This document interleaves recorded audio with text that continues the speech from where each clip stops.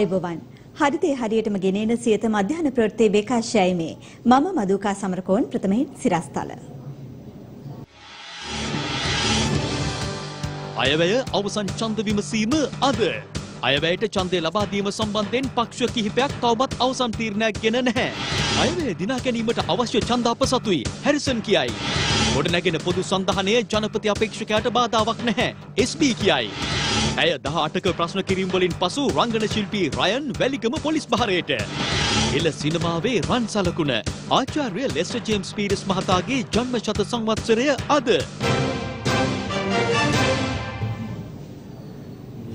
දේශීය පුවත් වෙතයි මුලින්ම අවධානය. අයවැය කාරක සභා අවස්ථා විවාදයේ අවසන් දිනය වන අද මුදල් අමාත්‍යංශ වැය ශීර්ෂ විවාදයට ගැනෙනවා. එම විවාදයෙන් අනතුරුව 2019 අයවැය තෙවන වර කියවීමේ ඡන්ද විමසීම පස්වරු පහට පමණ ආරම්භ වීමට නියමිතයි. පසුගිය පස්වනදා මේ වසරට අදාළව අයවැය මුදල් අමාත්‍ය මංගල සමරවීර මහතා විසින් පාර්ලිමේන්තුවට ඉදිරිපත් කළා. එවනුව පසුගිය 12 වනදා අයවැය දෙවනවර කියවීම පිළිබඳ පැවති ඡන්ද විමසීමේදී එය වැඩි ඡන්ද 43කින් සම්මත වුණා. අයවැයට එදින පක්ෂව ඡන්ද 119ක් ලැබුණු අතර විපක්ෂව ලැබුණේ ඡන්ද 76ක් පමණයි. එක්සත් ජාතික පක්ෂය දෙමළ ජාතික සන්ධානය සහ ලංකා කම්කරු කොංග්‍රසයේ මන්ත්‍රීවරුන් අයවැයට පක්ෂව ඡන්දය ලබා දුන් අතර එක්සත් ජනතා නිදහස් සන්ධානය සහ ජනතා විමුක්ති පෙරමුණේ මන්ත්‍රීවරුන් ඊට විරුද්ධව ඡන්දය භාවිතා කළා. ඡන්ද විමසීම සිදු කරන අවස්ථාවේදී ශ්‍රී ලංකා නිදහස් පක්ෂයේ මන්ත්‍රීවරුන් සභාගැබේ සිටියේ නැහැ. විජිතස් රාජපක්ෂ මහතා සහ පාර්ලිමේන්තුවේ ස්වාධීන මන්ත්‍රීවරයෙකු ලෙස කටයුතු කරන පූජ්‍ය අතුරුලියේ රතන හිමියන්ද ඡන්ද විමසීම සිදු කරන අවස්ථාවේදී එදින පාර්ලිමේන්තුවේ සිටියේ නැහැ. මෙවර අයවැය කාරක සභා විවාදයේදී ස්වදේශ කටයුතු අමාත්‍යාංශය මෙන්ම මහනගර හා බස්නාහිර සංවර්ධන අමාත්‍යාංශයේ වැය ශීර්ෂයන් පරාජයට පත් වුණා. කෙසේ වෙතත් අද දින පැවැත්වෙන මෙවර අයවැය තුන්වනවර කියවීමේ ඡන්ද විමසීම පිළිබඳව මෙවන විට රටේම අවධානය යොමු තිබෙනවා. ඊට හේතු වී තිබෙන්නේ ඒකාබද්ධ විපක්ෂයේ නියෝජනය කරන එක්සත් ජනතා නිදහස් සඳහන කණ්ඩායම මෙන්ම ජනතා විමුක්ති පෙරමුණත් අයවැයට විරුද්ධව ඡන්දය දීමට සූදානම් වන පසුබිමක් තුළ ශ්‍රී ලංකා නිදහස් පක්ෂයේද ඒ සම්බන්ධයෙන් අවසන් තීරණයක් ගැනීමට අද දින සූදානම්ව සිටින බැවින් කෙසේ වෙතත් පසුගිය වර ශ්‍රී ලංකා නිදහස් පක්ෂය ඡන්ද විමසීම සිදු කරන අවස්ථාවේදී පාර්ලිමේන්තුවේ නොසිටියත් මේ වන විට අද පැවැත්වෙන තුන්වන කියවීමේ ඡන්ද විමසීම සම්බන්ධයෙන් අවසන් තීරණයක් ගැනීම සඳහා ශ්‍රී ලංකා නිදහස් පක්ෂයත් එක්සත් ජනතා නිදහස් සන්ධානයත් වෙන වෙන වශයෙන් අද දින සාකච්ඡා පවත්වමින් සිටිනවා. එමෙන්ම ශ්‍රී ලංකා මුස්ලිම් කොංග්‍රසය ඇතුළු සුළු පක්ෂ කිහිපයක් මේ වන විට අයවැයට ඡන්දය ලබා දෙන්නේ නම් ඊට අදාළ විවිධ කොන්දේසිද ඉදිරිපත් කරමින් සිටින බවටයි තොරතුරු වාර්තා වන්නේ. මෙවන් පසුබිමක් තුළ 2019 අයවැය තුන්වන කීවීමේ ඡන්ද විමසීම අද පස්වරු පහට සිදු කිරීමට නියමිතව තිබෙනවා. අයවැය තෙවනවර කියවීමේ විවාදය අදයි. මුදල් හා ජනමාධ්‍ය අමාත්‍යංශයේ වැල් ශීර්ෂ අද විවාදයට ගැනෙනවා. මේ අද උදෑසන පාර්ලිමේන්තු විවාදය අතරතුර පළ වූ අදහස්. ඔබතුමා ඉදිරිපත් කරා ලිපියක් මැතිවරණ කොමිසම වෙනුවෙන් කොමිසමේ සභාපතිවරයා විසින් ඔබතුමා වෙත යොමු කරනු ලැබූ. ඒ ලිපිය අන්තර්ගතය වුණේ අගෝස්තු මාසයට පෙර පළාත් සභා මැතිවරණය පවත්වන්නේ නම් අදට පෙර අදාළ සංශෝධන කඩිනමින් පාර්ලිමේන්තුවට ඉදිරිපත් කළ යුතු බවත් එසේ නොවන්නේ නම් අධිකරණ ක්‍රියාමාර්ගවලට යෑමට කොමිසමට සිදුවන බවත් දන්වමින් ගරු කතානායකතුමනි දැන් අද න්‍යායපත්‍රය ඇතුලේ අපිට එහෙම සංශෝධනයක් ඉදිරිපත් කරන බව පේන්නේ නැහැ පළවෙනි කාරණේ. නැවත පාර්ලිමේන්තුව රැස් වෙන්නේ මැයි මාසේ 7 වෙනිදා සහ 8 වෙනිදා. ඒ දින දෙකෙත් න්‍යායපත්‍රය තීන්දුව කළා හමාරයි. ආපහු රැස් වෙන්නේ 21 සහ 22 කියන දවස්වලදී. එහෙමනම් අනිවාර්යයෙන්ම ඔක්තෝබර් 5 වෙනිදා තමයි අවසාන දිනයේ මැතිවරණ නිවේදනය කරන්න තියෙන. ඔක්තෝබර් 21 වෙනිදාට ප්‍රථම නාම යෝජනා කැඳවිය යුතුව තිබෙනවා. ඒ කියන්නේ අද දවස තුල මේක සිදුවන්නේ නැත්තම් නිසකවම පළාත් සභා මැතිවරණය මේ වර්ෂය තුල පැවතීමට හැකියාවක් ලැබෙන්නේ නැහැ. ගරු මන්ත්‍රීතුමා මේ සම්බන්ධයෙන් අපි පක්ෂ නායක රැස්වීමක් පවත්වලා දැන් මාසයකට ඉස්සර එතෙන්දී ගරු රව් ෆකිම් මැතිතුමා මනෝ ගණේෂන් මැතිතුමාත් කිව්වා කරුණු කීපයක් අධිකරු ජනාධිපතිගෙන් පැහැදිලි කරගන්න ඕනේ කියලා. ඒ නිසා ඊට අවශ්‍ය කාලය ඉල්ලුවා. ඉතින් ඒ කාලේ දුන්නා ඊට පස්සේ මම ගිය සතියේත් අවධානය යොමු කරා මම හිතනවා ලිඛිතව දන්ලා තියෙනවා. කරුණාකරලා ඒක අපිට දන්න ඊට පස්සේ තමයි පියවර ගන්න. ඒ වගේම පසුගිය පක්ෂ නායකගේ රැස්වීම යෝජනාවක් ආවා ගරු ජනාධිපතිතුමා විසින් නැවතත් රැස්වීමක් ඇඳ යුතුයි කියන මත. ඒකත් මම ලිඛිතවත් දන්ලා තියෙනවා. ඒකයි වර්තමාන තත්ත්වයේ සභානායකතුමා මොකක්ද තියෙනවද? ඔබතුමා දන්නවා එක්සත් ජාතික පක්ෂයේ මුල ඉඳලම ස්ථාවරය වුණේ පරණ ක්‍රමයට පළාත් සභා තියමු කියලා. මේගොල්ලෝ තමයි කිව්වේ අලුත් ක්‍රමය ඕන කියලා. ඒතකොට අලුත් ක්‍රමය අසම්පූර්ණයි. ඒක භාගයක් සම්මත කළා භාගයක් සම්- සම්මත කළා නැහැ. පරණ ක්‍රමයට යන්න උනත් සංශෝධනයක් ගේන්න ඕන මේ පාර්ලිමේන්තුවට. තමුන්නාසෙලා අපිට කිව්ව මේ පරණ ක්‍රමය එපා කියලා. පරණ ක්‍රමයේ තිබ්බට මාසයකට කලින් ඡන්දය තියෙනවා. අපිත් බලාපොරොත්තු වුණා රටත් බලාපොරොත්තු වුණා මැතිවරණ ක්‍රමය මනාප නැති ඡන්ද ක්‍රමයකට යන්න. නමුත් ඒක ක්‍රියාත්මක කරගන්න බැරි වෙලා තියෙනවා. හැබැයි අපි ඊට පස්සේ හැම වෙලාවෙම කිව්වා දැන් පරණ ක්‍රමයට මේ මැතිවරණයට යමු. ඊට පස්සේ දෙවනුව නැවත අර තියෙන ක්‍රමයේ අඩුපාඩු තියෙනවා සකස් කරගෙන ඊළඟ මැතිවරණේ ක්‍රමයට තියමු කියලා. ඒක අටුත්ත කරනවා නම් අපි අපේ එකකතාවය තියෙනවා. හොඳයි දැන් මෙතන වෙලා තියෙන්නේ අර පක්ෂ නායකයෝ දෙන්නේ කතිකරු ජනාධිපතිතුමා හමු වෙලා එතුමාගේ තීරණය දැනගන්න ඕනේ මම පෙර ගිය සතියේත් මතක් කළා. ඉතින් ඒක අපේටි අපිට වැඩි ඉක්මන් කරන්න පුළුවන්. ඇත්ත කියන්නේ අනිකරු එමතුමනි කවුරුත් මෙතන පැහැදිලිවම යම් කිසි පොරොන්දුවක් මත තමයි මේ පළාත් සභා ඡන්දය දිගින් දිගටම ප්‍රමාද වෙන්නේ. ගරු කතානායකතුමනි මෙතන සඳහන් වුණා ජනාධිපතිතුමා ඉල්ලීමක් කරා කියලා මේක කල් අරගෙන හරි කටයුතු කරන්න කියලා. ඒ කිව්වේ අලුත් ඡන්ද ක්‍රමයක් වෙනුවෙන් තමයි කිව්වේ මනාප නැති ඡන්ද ක්‍රමයක් වෙනුවෙන්. මේක මේ පරණ කතාවක්. හැබැයි ඊට පස්සේ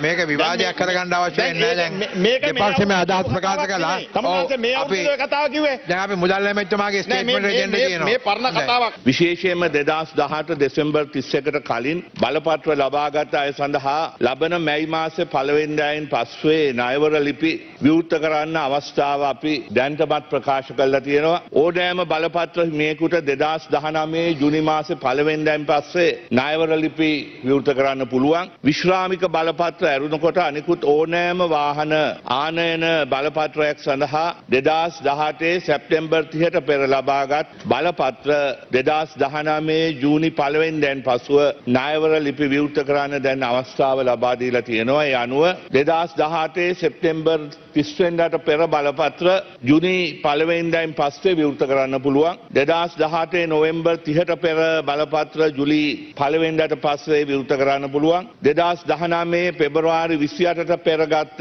බලපත්‍ර මේ අවුරුද්දේ අගෝස්තු පළවෙන්දයින් පස්සේ විවෘත කරන්න පුළුවන්. එවගේම මේ අවුරුද්දේ ජුලි තිස්වෙන්ඩට පෙරගන්න බලපත්‍ර සෙප්ටෙම්බර් මාසේ පළවෙන්දයින් පසුව විවෘත කරන්න පුළුවන්. එවගේම දෙදස් දහනමේ ඔක්ටෝබර් පළවෙන්දයින් පසුව ඕනෑම දිනක නිකුත් කළපු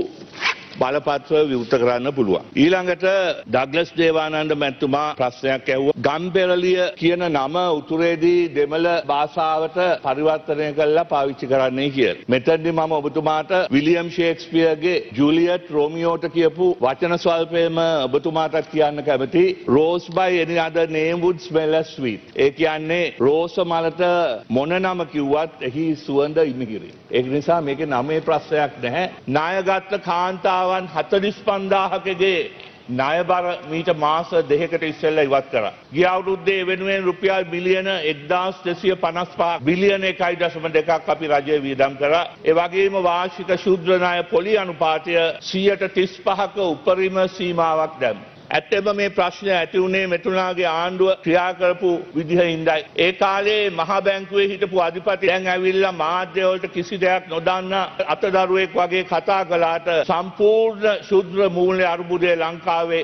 ඇතිකරේ කබ්‍රාල් කියන එක මම වගකීමෙන් කියන. අපි ඉතා පැහැදිලිව සංඛ්‍යා දත්තා හා සියලු තොරතුරු සහිතව ඔප්පු කර පෙන්නවා. ලංකා ඉතිහාසේ ඉතාම දරුණු ආර්ථික සමාජ දේශපාලන අර්බූදයක් ඇතිවෙච්ච යුගයේ මේ යුගය කියලා. රටේ නිමවුම කඩා වැටුණා, ආදායම අඩු වුණා, විරකියාව වැඩි වුණා, පොලි අනුපාතයේ කරටි කඩලා යන ලෙස ඉහළ නැගුණා. රුපියල ඉතිහාසයේ කවරදාක්වත් නොවිරු ලෙස කඩා වැටුණා. විදේශ ආයෝජකයෝ විදේශ ආයෝජන මේ රටින් අයින් කරගෙන ගියා. රටේ බැංකු ක්‍රමයේ මුදල් ක්‍රමයේ ණය ක්‍රමයේ පිළිබඳ විශ්වසනීයභාවය සම්පූර්ණයෙන් පළුදු වුණා. ශ්‍රී ලංකා මහා බැංකුව මේ ඇති වෙලා තියෙන අවාසනාවන්ත තත්ත්වයෙන් රට ගලවගන්නේ කොහොමද කියන ප්‍රශ්නයට මුහුණ දීලා තියෙනවා. පාර්ලිමේන්තුවට ඇවිල්ලා බොරු කියලා විපක්ෂ නායකවරයාට රාජපක්ෂ බහුලට එලව එලව පහර දීලා මේ ප්‍රශ්නේ විසඳන්න පුළුවන් කියලා හිතනවා නම් ඒක තමුන්නාන්සේලා මුලාවීමක් කියන එක මම සඳහන් කරමින් රටේ සමස්ත නිමවුම ඕඩර් ප්ලීස් ඕඩර් ප්ලීස් මේ අවස්ථේ නියෝජ්‍ය කතානායකතුමා මූලාසනට පැමිණුණේ. අයවැය දිනා ගැනීමට අවශ්‍ය ඡන්ද සංඛ්‍යාව ආණ්ඩුවට පවතින බව අමාත්‍ය පී හැරිසන් මහතා පවසනවා. ඒ මාධ්‍යවේදී නැගූ ප්‍රශ්නවලට පිළිතුරු ලබා දෙමින්. අය ප්‍රශ්නයක් වෙන්නේ නැහැ. අපිට ආණ්ඩුව ජයග්‍රහණය කරන්න පුළුවන්. ශ්‍රී ලංකා නිදහස් පක්ෂයේ ජනාධිපතිතුමාගේ පිරිස මේ වගේ මේ වෙලාවේ මොන වගේ තීන්දුවක් ගනීද? මං හිතන්නේ ඒක ජනාධිපතිතුමාගෙන් තමයි අහන්න ඕනේ. එයා නේද තීරණාත්මක සාධකය වෙලා තියෙන්නේ මේ පාර. නෑ එහෙම එකක් නෑ. ඒ ඒ ඒ ඡන්ද නැතත් අපිට ජයග්‍රහණය කරන්න අවශ්‍ය ඡන්ද සංඛ්‍යාව තියෙනවා. කොයි වගේ ඡන්ද? මං හිතන්නේ ගිය සැරේ පාස් වෙච්ච විදිහට මේ සැරේත් පාස් වෙයි. ඒ වගේම දිලිප් බෙදාරච්චි එමතුමා මේ චෝදනාවක් කරන ඔබතුමාගේ ලේකම්වරයා යටතේ තමයි වැඩ කරන්න වෙලා තියෙන්නේ. එයාට කැබිනට් අමාත්‍ය ධූරය අවශ්‍යයි කියලා. නෑ එතුමට වෙනම ලේකම්වරයෙක් ඉන්නවා. ඉතින් මගේ ලේකම් වැඩ කරන්නේ මාත් එක්ක. ඔබතුමා කැමතිද දීවර අමාත්‍යාංශයට මට පැහැදිලිව කිසිම ප්‍රශ්නයක් නෑ. ඔබතුමා එහෙම බලලෝබීත්වයක් නෑ නෑ නෑ නෑ. එහෙම නෑ. මේක ඔක්කොම తాවකාලික රස්සා. ඉතින් ඒකින්ද ගැටලුවක් ඇති කරගන්න ඕනේ නෑ. ජනාධිපති අපේක්ෂකත්වයේ සම්බන්ධයෙන් මොකද අපි තාම ජනාධිපති මැතිවරණයක් ගැසට් කරලා නැහැ නේ. එතකොට අපි කියන්නම් කවුද අපේක්ෂකයා කියලා. ගොඩනැගෙන පොදු සන්ධානය ජනාධිපති අපේක්ෂකයන්ට බාධාවක් නොවන බව පාර්ලිමේන්තු මන්ත්‍රී එස්.පී. දිසානායක මහතා පවසනවා. ඒ ඊයේ දින කොළඹදී පැවති මාධ්‍ය හමුවකදී. ඉතාම පැහැදිලිව ජනාධිපති අපේක්ෂකයා පිළිබඳව හිටපු ජනාධිපතිතුමා මේකේ වැඩිම බලපෑමක් කරන්න පුළුවන් හිටපු ජනාධිපතිතුමා කියන්නේ. මම දිනන්න පුළුවන් අපේක්ෂකයා ජනාධිපති මෛත්‍රීපාල සිරිසේන මහත්මයා කවම මේ ගැන වචනයක්වත් කතා කරන්නේ නමුත් මේ දෙන්නම ඒකාබද්ධ සමගියක් වෙනුවෙන් කැප වෙලා සිටින බව මම තමුන්නාසලට කියන්නේ ඒ නිසා මම හැම වෙලේම කියන්නේ අපි මේ වගේ වෙලාවල තරඟ කළ යුතු පක්ෂය තරඟ කළ යුතු ලකුණ අපේක්ෂකයා කවුද? මේ වගේ දේවල් ටිකක් පැත්තකින් කියලා. අපි කොහොම පැහැදිලි දර්ශනයක් ඇතුව පැහැදිලි වැඩපිළිවෙලක් ඇතුව පැහැදිලි ඉලක්කයක් තියාගෙන අපි මේ සන්දානයේ ගොඩනැගීම තමයි අත්‍යවශ්‍ය වෙන්නේ. මේ මැයිදින් රැළිය සාර්ථක කර ගැනීම සඳහා අපි ඊළඟ මහා මැතිවරණයකට කලින් තියෙන එකම මැයිදිනේ මේක නිසා සාර්ථක කර ගැනීම සඳහා දැවැන්ත උත්සාහයක යෙදී සිටිනවා. මේ මැයිදින සියල්ල තුල දේශප්‍රේමී අධිරාජ්‍ය විරෝධී එක්සත් ජාතික විරෝධී ඒ මුහුණුව තබා ගනිමින් නව සන්ධානයක් සඳහා ශක්තිමත්ව ජනතාව පෙළගැස්වීමේ මූලික වුණාවෙන් මේ වැඩේ කරන බව ඔබතුමාට කියන්න කැමතියි ජාතික ඵලදායිතා සම්මාන රාජ්‍යංශයේ ප්‍රථම ස්ථානය දිනාගත් ජනාධිපති කාර්යාලය එම සම්මානය ජනාධිපති මෛත්‍රීපාල සිරිසේන මහතා වෙත ඉදිරිපත් කිරීම ඊයේ ජනාධිපති මන්දිරයේදී සිදු කෙරුණා. දෙදස් දාහත දෙදස් දහට ජාතික පලදායිතා සම්මාන ප්‍රධානෝත්සවය පසුගියදා උත්කර්ෂවත් අන්දමින් කොළඹ බණ්ඩාරනායක ජාත්‍යන්තර සම්මන්ත්‍රණ ශාලාවේදී පැවැත්වුණු අතර එහිදී ජාතික පලදායිතා අන්තර් අමාත්‍යංශ කාණ්ඩයේ ප්‍රථම ස්ථානය දිනා ගැනීමට ජනාධිපති කාර්යාලය සමත් වී තිබෙන බව ජනාධිපති මාධ්‍ය ඒකකයේ නිකුත් කළ නිවේදනයක දැක්වෙනවා. ජනාධිපති කාර්යාලය විසින් දිනාගත් එම සම්මානය ජනාධිපති ලේකම් උදයාර් සෙනවරත්න හිටපු ජේෂ්ඨ අතිරේක ලේකම් රෝහණ කීර්ති දිසානායක යන මහතුරුන් ඇතුළු ජනාධිපති කාර්යාලයේ ජේෂ්ඨ නිලධාරීන් ඊයේ දින ජනාධිපති මන්දිරයේදී ජනාධිපති මෛත්‍රීපාල සිරිසේන මහතා වෙත ඉදිරිපත් කරනු ලැබුවා. මෙහිදී කාර්ය මණ්ඩලය සමග සුහද හමුවකට එක් වූ ජනාධිපතිවරයා ඔවුන් සමග ගීත ගායනයකටද එක් වුණා.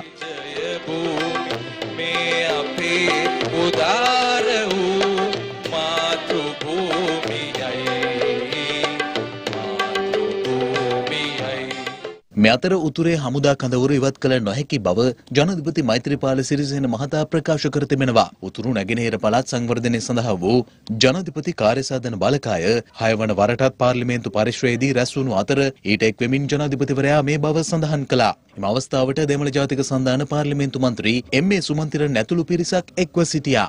අපි අවංකව පිළිගන්න ඕන හමුදා කඳවුරුත් තිබිය යුතු ස්ථානවල තිබිය යුතුයි කියන එක. ඒ දැන් යම්කිසි ස්ථානවල මේ ස්ථානයේ කඳවුරක් තිබිය යුතුයි කියලා ජාතික ආරක්ෂාව සම්බන්ධයෙන් ආරක්ෂක මණ්ඩලය තීන්දුව කරනවා නම් එතන හමුදා කඳවුරක් තියෙන්න ඕනේ ඒක ඉවත් කරන්න බෑ. එතකොට ඒ ඒ තියෙන ඉඩම් වෙනුවට අපිට වෙන තැනකින් ඉඩම් දීම හෝ එහෙම නැත්නම් වන්දි ගෙවීම තමා කරන්න පුළුවන්. නැතුව මේ දැන් නාවික හමුදා කඳවුර අපිට අයින් කරන්න බෑනේ. රැස්වීමේදී තීරණය කරා ඒ අක්ෂර 62 මනින්න ඒ අක්ෂර 62 ඇතුළත තියෙන පන්සල් වලටත් හින්දු හින්දු කෝවිල් වලට යන්න පුළුවන් විදිහට මාර්ගය සකස් කරලා ඒ විදිහට කරන තමයි අපිට උදෙස් ලැබෙන්නේ නමුත් එදා මනින්න ආවහම අවසනාව වගේ මනීම කටයුතු සිදු කරන්න දුන්නේ නැහැ. குடிய நோட்டீஸ் ஒட்டப்பட்டிருக்கு நீங்கள் தயவு செய்து இந்த அதுக்கு ஒரு தடை உத்தரவு இருக்க வேண்டும் ஒரு விஷயம் நீங்கள் ஏற்கனவே இந்த கூட்டத்தில் தீர்மானித்து கொடுத்த கிளிநொச்சி லைப்ரரிக்குரிய காணி அஹ், ல- நூலகம் இயங்குற காணி இன்று வரைக்கும் ராணுவத்தால் விடுவிக்கப்படவில்லை ඩුබයිහිදී අත්අඩංගුවේ සිට ඊයේ දිවයිනට පිටුවහල් කරනු ලැබූ රංගන ශිල්පී රයන් වැන්රෝයන් වැඩිදුර පරීක්ෂණ සඳහා වැලිගම පොලිසිය වෙත බාර දී තිබෙනවා. ඒ ගුවන්තොටුපොළ අපරාධ පරීක්ෂණ දෙපාර්තමේන්තුවේ නිලධාරීන් විසින් ඔහුගෙන් පැය 18ක් පමණ ප්‍රශ්න කිරීමෙන් අනතුරුවයි. ඔහු සමග දිවයිනට පැමිණි සෙසු සැකකරුවන් හතර දෙනා ප්‍රශ්න කිරීම වලින් පසු මුදා හැර තිබෙනවා. ඩුබයිහිදී අත්අඩංගුවට ගෙන මෙරටට පිටුවහල් කිරුණු රංගන ශිල්පී රයන් වැන්රොවන් වැඩිදුර පරීක්ෂණ සඳහා වැලිගම පොලිසිය වෙත බාර දී තිබෙනවා. ඒ අපරාධ පරීක්ෂණ දෙපාර්තමේන්තුව මගින් පැය 18කට ආසන්න කාලයක් ඔහුගෙන් ප්‍රශ්න කිරීමෙන් අනතුරුවයි. වැලිගම මිරිස්ස ප්‍රදේශයේදී සොයාගත් රයන් වැන්රොවන් භාවිතා කළ බවට තොරතුරු හෙළි වූ මෝටර් රථය සම්බන්ධයෙන් වූ පරීක්ෂණ සඳහායි සැකකරු වැලිගම පොලිසියට බාර දී ඇත්තේ. කෙසේ වෙතත් ඔහු සමග අත්අඩංගුවට ගත් අනිකුත් සිව් දෙනා තවදුරටත් අපරාධ පරීක්ෂණ දෙපාර්තමේන්තුව බාරයේ පසුවන බවයි පොලිසිය සඳහන් කළේ. මේ අතර පාතාල නායක මාකන්ද්‍රේ මදුෂ් රයන් වැන්රෝවන් හට හඳුන්වා දී ඇත්තේ ගායන ශිල්පී අමල් පෙරේරා බව ප්‍රශ්න කිරීම්වලදී අනාවරණය වී තිබෙනවා. මේ අතර විදේශ කටයුතු අමාත්‍ය තිලක් මාරපන මහතා දැනට ඩුබායිහි අත්තරංගුවේ පසුවන පාතාල නායක මාකන්ද්‍රේ මදුෂ් මෙරටට ගෙන්වා ගැනීම සම්බන්ධයෙන් සාකච්ඡා කිරීම සඳහා පසුගියදා එක්සත් අරාබි එමි රාජ්‍ය වෙත පිටත්ව ගොස් තිබුණා. විදේශ කටයුතු අමාත්‍යංශයේ නිලධාරීන් පිරිසක් සහ පොලිස් දෙපාර්තමේන්තුවේ උසස් නිලධාරීන් කිහිප දෙනෙකුද අමාත්‍යවරයා සමග එහි ගොස් ඇති අතර ඔවුන් පෙරේදා එක්සත් අරාබි එමි රාජ්‍යයේ විදේශ කටයුතු රාජ්‍ය අමාත්‍ය ආචාර්ය අන්වර් බින් මොහමඩ් හමු වී ඇති බව සඳහන්. මෙහිදී විදේශ කටයුතු අමාත්‍ය තිලක් මාරපන මහතා ජනාධිපති මෛත්‍රපාල සිරිසේන මහතා විසින් ලබා දුන් ලිපියක් එක්සත් අරාබි එමිර් රාජ්‍යයේ ජනාධිපති ෂේක් කලිෆා බින් සෙයිඩ් වෙත ලබා දීම සඳහා එරට විදේශ කටයුතු රාජ්‍ය අමාත්‍යවරයා වෙත බාර දී ඇති බවත් විදේශ මාධ්‍ය වාර්තා කළා. හෙළ සිනමාවේ රන් සලකුණ සිනමාවේදී ආචාර්ය ලෙස්ටර් ජේම්ස් පීරිස් මහතාගේ සියවස් ජන්මදින සැමරුම අදට යෙදී තිබෙනවා. එතුමා සිංහල සිනමාවට කළ මෙහෙවර වෙනුවෙන් අප්‍රේල් මාස 5 වන දින ජාතික සිනමා දිනය ලෙස ප්‍රකාශයට පත් කිරීම අද සිදු කෙරුණා. වර්ෂ 1919 අප්‍රේල් මාස 5 වන දින ශ්‍රී ලාංකේය රිදී සිනමා වංශ කතාවේ රන් සලකුණ මෙලොවට පහළ වූ දිනයයි. දෙහිවල නාගරික පරිසරයක හැදී වැඩෙන ලෙස්ටර් ජේම්ස් පීරිස් හෙළ සිනමා කෙත සුපෝෂණය කළේ සිනමා භාෂාව වඩාත් හොඳින් හඳුනාගත් අග්‍රගණයේ කලාවේදියෙකු ලෙසිනි. එක්දහස් නවසය හතලිස් හත එක්දහස් නවසය පනස් හය කාලවක්වානුව තුළ හෙළ සිනමාවේ අන්තර්ගතව තිබූ නාට්‍යමය සිනමා භාෂණය බරපතල ලෙස කණ්ඩනය කරමින් හෙළ සිනමාවේ රන් සලකුණ ලෙස රේකාව චිත්‍රපටය ආචාර්ය ලෙස්ටර් ජේම්ස් පීරිස් නැමැති අනබී භවනීය කලාකරුවාගේ අතින් බිහිවන්නේ කලාවේ නූතන සම්බන්ධතාවයට පාලමක් තනමිනි. නෙළුම් නෙරිය රඟාලා ටිකිනි හඬනවලා නඟාලා සිනමා නිර්මාණයක දැකිය හැකි ප්‍රධානතම නිර්ණායක තුනක් වන ප්‍රබුද්ධත්වය බුද්ධි ප්‍රබෝධය ඇති කිරීම ජාත්‍යන්තරයේ ජය ගැනීම යන නිර්ණායකයන් ලෙස්ටර් ජේම්ස් පීරිස්ගේ සිනමා නිර්මාණ තුළ මනාව අන්තර්ගතව තිබුණා. ලෞකික කලාව තුළ සුදු කළු චරිත සොයායෑම වෙනුවට යථාර්ථය ස්මතු කිරීමට මේ අනර්ග කලාකරුවා සෑම විටම සූක්ෂම වුණා. මෙන්න නංග පෙරදෙන සල්ලි. මට ඒක. නන්ද අපේ පිළට ආව නම් රුපියලක් දෙනවා. මංගේ මට ඕනි පිළිටනේ.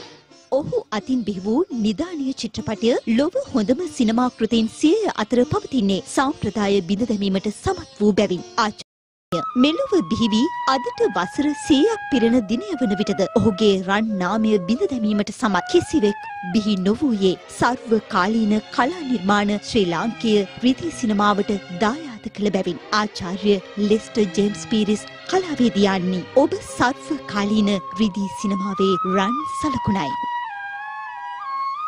මේ අතර ජේෂ්ඨ සිනමාවේදී ආචාර්ය ලෙස්ටර් ජේම්ස් පීරිස් මහතාගේ සියවන ජන්මදිනය වෙනුවෙන් අප්‍රේල් මාස 5 වනදා ජාතික සිනමා දිනය ලෙස ප්‍රකාශයට පත් කර ඇති බවයි රජය පවසන්නේ. මෙරට සිනමාව දකුණු ඉන්දියානු ආభాෂයෙන් මුදවා දේශීය මුහුණුවරක් ගෙන ඒම සඳහා ආචාර්ය ලෙස්ටර් ජේම්ස් පීරිස් මහතා සිදු කළ මෙහෙවර අගයමින් මෙම දිනය ප්‍රකාශයට පත් කර තිබෙනවා. දැන් රටවට අපුවත් කිහිපයක් කෙටියෙන්. මහනුවර යටිනෝර වීදිය අලිමුඩුක්ව ප්‍රදේශයේ ගොඩනැගිල්ලක පස්වන මහලේ ඇති වූ හදිසි ගින්නකින් ප්ලාස්ටික් බඩු වෙළඳ සැලක් ගිනිගෙන විනාශ වී තිබෙන බව අපවාර්තාකරු සඳහන් කළා. ඊයේ පස්වරු 6:30ට පමණ ඇති වූ මෙම ගින්න මහනුවර නාගරික ගිනි නිවීමේ ඒකකයේ සහ පොලිසිය එක්ව මැඩ පැවැත්වීමට කටයුතු කර තිබෙනවා. ගින්නට හේතුව සහ වෙළඳ සැලට සිදු වූ අලාභහානිය පිළිබඳව මෙතෙක් තහවුරු වී නොමැති අතර සිද්ධිය සම්බන්ධයෙන් මහනුවර පොලිසිය වැඩිදුර විමර්ශන සිදු කරනවා. කොළඹ නුවර ප්‍රධාන මාර්ගයේ පහළ කඩුගන්නාව ප්‍රදේශයේ රක්ෂිත කොටසේ ඊයේ රාත්‍රියේ හටගත් ගින්නක් හේතුවෙන් අක්කර 10ක් පමණ ප්‍රමාණයක් විනාශ වී තිබෙන බව අපවාර්තාකරු සඳහන් කළා. මාවනැල්ල පොලිසිය සහ මාවනැල්ල ප්‍රාදේශීය සභාවේ ගින්න නිවීමේ රථ ගෙන්වා ගින්න මැඩ පැවැත්වීමට කටයුතු කර තිබෙන අතර පැවති උණුසුම් කාලගුණ තත්ත්වය හේතුවෙන් ගින්න පැතිරී ගොස් තිබෙනවා. මේ අතර රක්ෂිත ප්‍රදේශයට කිසියම් අයෙකු ගිනි තැබුවේද යන්න පිළිබඳව සොයා බැලීම සඳහා මාවනැල්ල පොලිසිය වැඩිදුර විමර්ශන සිදු කරනවා. ගල්නෑව ඉහළ කලංකුට්ටය නවමාර්ගයේ මාර්ගය වැසි දිනවලදී අඩි ගණනාවක් යටවන බවත් එම මාර්ගයේ යාමට නොහැකි තත්වයකට පත් වී ඇති බවත් ප්‍රදේශවාසීන් දිගින් දිගටම චෝදනා කරනවා. මේ පිළිබඳව සොයා බැලීම සඳහා පසුගිය දිනක අනුරාධපුර දිස්ත්‍රික් පාර්ලිමේන්තු මන්ත්‍රී ඉෂාක් රහුමාන් මහතා නිරීක්ෂණයකද නිරත වුණා. කුරුණෑගල සිට මඩකලපුව වෙත රැගෙන යන අතරවාරයේදී මඩකලපුව පොලිසිය විසින් කේරළ ගංජා කිලෝ දෙකකට අධික ප්‍රමාණයක් සත්තුරු කොණ්ඩාන් හිදී අත්අඩංගුවට ගැනීමට සමත් වී ඇති බව අප වාර්තාකරු සඳහන් කළා. පොලිසියට ලැබුණු රහසිගත තොරතුරකට අනුව මඩකලපුව පොලිස් ස්ථානාධිපතිවරයා ඇතුළු නිලධාරීන් කිහිප දෙනෙක් මෙම වැටලීම සිදු කර තිබෙනවා. මෝටර් රථයක් තුළ සඟවා කේරළ ගංජා කිලෝ දෙකකට අධික ප්‍රමාණයක් සහ දුරකථන දෙකක් ඇතුළු පුද්ගලයන් දෙදෙනෙකුද අත්අඩංගුවට ගෙන තිබෙනවා. අත්අඩංගුවටගත් පුද්ගලයන් මඩකලපුව මහේස්ත්‍රාත් අධිකරණයට ඉදිරිපත් කිරීමට නියමිත අතර සිද්ධිය සම්බන්ධයෙන් මඩකලපුව පොලිසිය වැඩිදුර විමර්ශන සිදු කරනවා. සිංහල සහ දෙමළ රජයේ පාසල්වල පළමු වාරය අදින් අවසන් වන අතර දෙවන පාසල් වාරය අප්‍රේල් මාස 22 වෙනිදා ආරම්භ වන බව අධ්‍යාපන අමාත්‍යාංශය සඳහන් කළා. මේ අතර මුස්ලිම් පාසල් සඳහා පළමු වාරයේ නිවාඩු සමය ආරම්භ වන්නේ අප්‍රේල් 11 වෙනිදා වන අතර එම පාසල් අප්‍රේල් 17 වෙනිදා යලි ආරම්භ වීමට නියමිත බවයි අධ්‍යාපන අමාත්‍යාංශය වැඩිදුරටත් සඳහන් කළේ. එම පුවතත් සමගින් අපගේ මධ්‍යහන ප්‍රවෘත්ති විකාශය නිමාවට පත්වනවා. තවත් උණුසුම් පුවත් දැන ගැනීම සඳහා පිවිසෙන්න www.siyathanews.lk අපගේ වෙබ් අඩවිය වෙත. අප නැවතත් හමුවන්නේ සවස් 6 ප්‍රධාන ප්‍රවෘත්ති විකාශය තුලින්. සුබ දවසක්.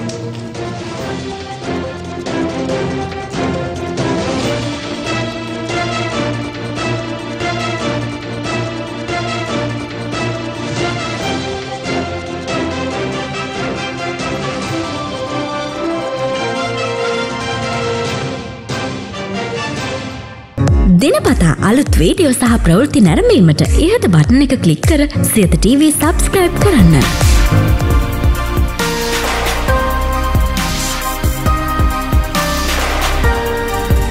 අලුත් වීඩියෝ ගැන මුලින්ම දැනගන්න මෙම සීනුව ක්ලික් කරන්න.